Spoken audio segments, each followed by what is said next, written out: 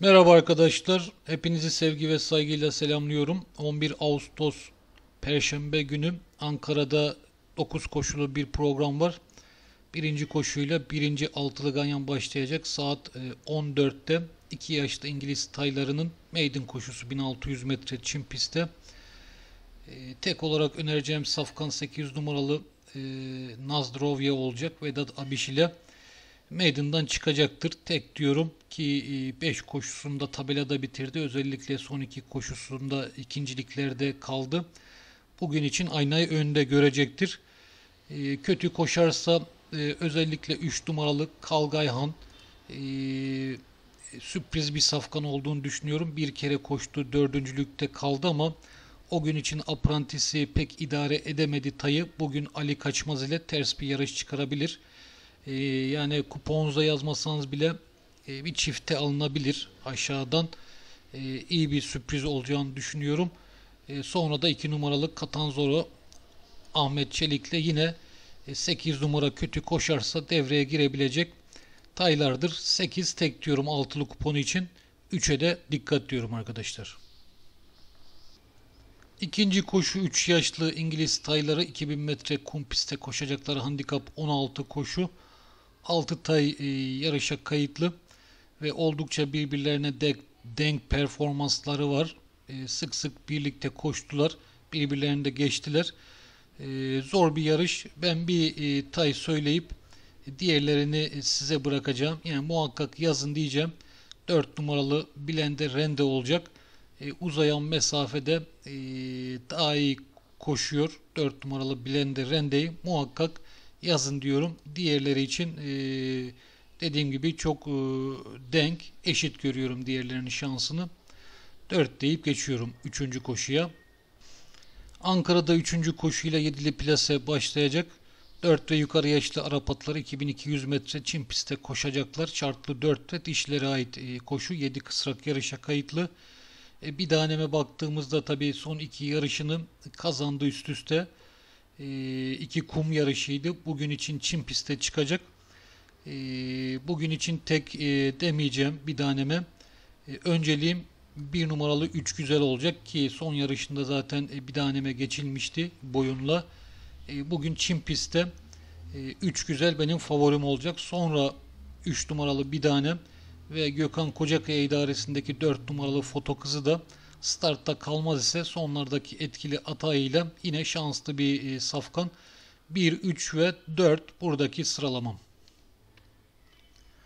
Dördüncü koşuyla ikinci altılı ganyan başlayacak saat 15.30'da. 3 yaşlı dişi İngiliz tayları 1600 metre çim pistte koşacaklar. Şartlı 5 koşu. E, altılı şablonumda banko diyebileceğim bir atım yok ama 2-3 at e, veya 4 at yazarak e, geçtim. Buradaki e, iki safkan benim önceliğim olacak.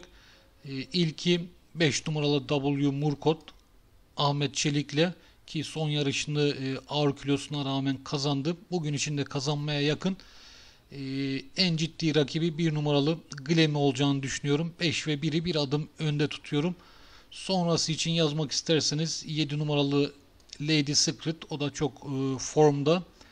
Ve son olarak da 4 numaralı Varşova buranın sürprizini yapabilir. 5-1 önceliğim sonra da 7 ve 4 şanslı gördüğüm taylar.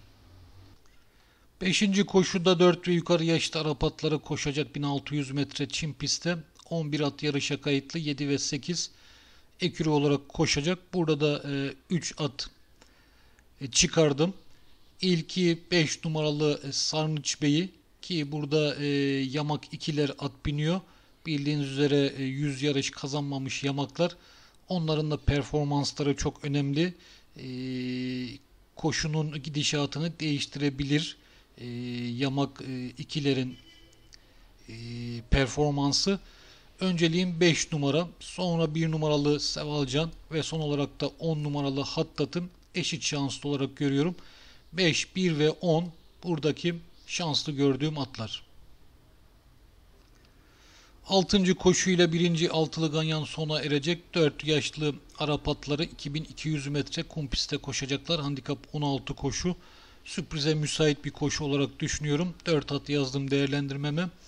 İlki 4 numaralı Temelkan, sonra 5 numaralı Yeni Çağlı, 1 numaralı Arifcan ve son olarak da 8 numaralı Kral Arda yine sürprizlere önereceğim e, at olacak. Sıralamam 4, 5, 1 ve 8. 7. koşuya geldiğimizde kısa vade 8 Mehmetçik koşusu 4 yaşlı Arap atları 1400 metre çim pistte koşacaklar. Ee, önceliğim 2 numaralı Aferdita olacak. Çok formda bir safkan. Mehmet Kaya ile önceliğim. Sonra 7 numaralı İlya da bugün için biraz geride kalacağını düşünüyorum. Bir sürpriz yapabilir. Sonra 4 numaralı Özgür Su. Son yarışını ölçü almadığım Özgür Su. Ve son olarak da e, hep büyük yarışlarda koşmuş bir numaralı adı var. Bu grupta yazmak lazım. Buradaki sıralamam 2, 7, 4 ve 1 olacak. 8. koşuya geldiğimizde e, değerlendirmeme geçmeden önce arkadaşlar her zamanki gibi lütfen kanalıma abone olun ve beğeni e, yapın. E, hatırlatması yapmak istiyorum. Her zaman için sizin desteklerinize ihtiyacımız var. 8. koşu 3 ve yukarı yaşlı İngiliz atlarının 1400 metre kum pistte koşacakları şartlı 4 koşu 9 at yarışa kayıtlı. İkisinin arasında geçmesini bekliyorum. Özellikle bir numaralı Bedestan alternatif tekte yazılabilir. Çünkü ikinci önereceğim at sürekli startta kalıyor. 8 numaralı Koca Alp sık sık startta kalıyor. Startta kalmaz ise buranın sürprizini yapabilir. Bilmiyorum plase veya favoride çıkabilir ama son yarışlarına baktığımızda kötü bir e, totosu var. Ondan dolayı muhtemelen çıkmaz. E, sta iyi bir start alırsa e, yarışın e, aynayı önde görebilir. 1 ve 8 eşit şanslı olarak görüyorum. Ankara 75. yıl hipodromunda son koşu saat 18'de başlıyor bir satış 3 koşusu 3 yaşlı 3 ve yukarı yaşlı e, İngiliz atları 1400 metre çim pistte koşacaklar. Satış fiyatlarına baktığımızda da 110 bin lira ile 150 bin lira arasında değişiyor. E, 4 at değerlendirmemi aldım. İlki Ahmet Çelik idaresindeki 1 numaralı Wind Blast.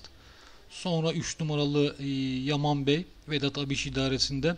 Sonra Uğur Temur idaresindeki 4 numaralı Ak of God yeni sahiplerinde ilk kez sahaya çıkacak. Sürpriz yapabilir burada.